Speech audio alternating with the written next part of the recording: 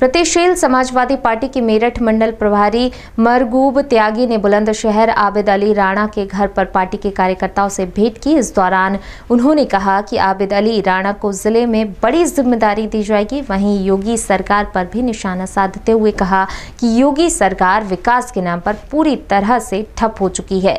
अगर अपराध की बात की जाए तो सरकार ने उत्तर प्रदेश के युवाओं को बेरोजगार बना दिया है, जिससे युवा गलत दिशा में चल पड़े हैं। इसकी जिम्मेदार खुद योगी सरकार है। उत्तर प्रदेश में महिला अपराध पिछली सरकार की अपेक्षा में और अधिक बढ़ गए हैं। योगी सरकार के सारे वादे झूठे और खोखले नज़र आ रहे हैं। त्यागी ने विपक्ष पर भी निशाना साधते हुए कहा कि सभी घोटालेबाज हैं। सीबीआई से सारे नेता डरते हैं, इसलिए सच्ची बात पर भी आंदोलन नहीं करते हैं। प्रगतिशील समाजवादी पार्टी नेता शिवपाल सिंह यादव हक की लड़ाई लड़ते हैं और हम कार्यकर्ता हक की लड़ाई के लिए सड़कों पर उतरेंगे, लोगों को न्याय दिलाएँगे। हिंदू, मुस्लिम को आपस में लड़ाकर गंदी राजनीति की जा रही है। गाय के नाम पर बेगुनाह लोगों की हत्या की जा रही है। किसान भूखा मर रहा है, लेकिन सरकार के घोटालेबाज नेता और मंत्री घोटालेबाजी से बाज नहीं आ रहे हैं।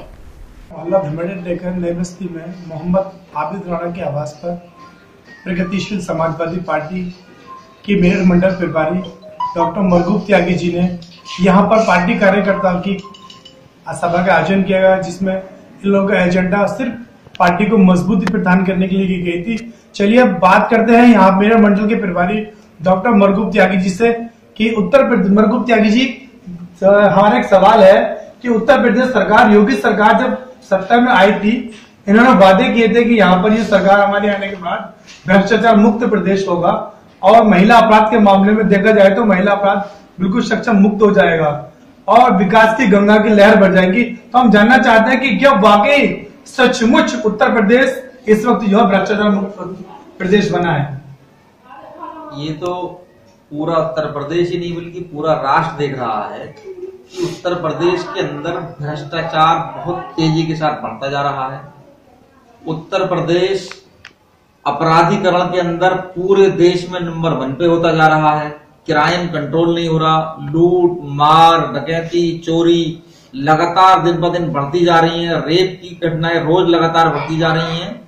और उत्तर प्रदेश पूरी तरह से जंगल राज में तब्दील हो चुका है। अगर जैसे कि आप बता रहे हैं कि अगर उत्तर प्रदेश भ्रष्टाचार का मामला सामने तो भ्रष्टाचार किस तरह के भ्रष्टाचार और किस तरह के वारदात अपराध उत्तर प्रदेश में ज़्यादा सामने आ रहे हैं?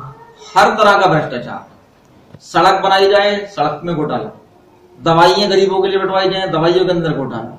एजुकेशन के अंदर घोटाला सरकारी अस्पतालों के अंदर घोटाला सरकारी स्कूलों के अंदर घोटाला कोई एक डिपार्टमेंट ऐसा नहीं है जहाँ पर घोटाले ना हो रहे हो।